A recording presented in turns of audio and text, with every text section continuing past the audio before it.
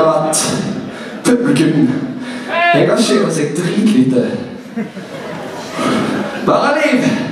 Ok, nå spør jeg en siste gang. Er det noe liv? Nå må ikke bevege dere nå!